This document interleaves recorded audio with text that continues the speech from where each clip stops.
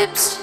She goes astray in her world Not a trace of fear.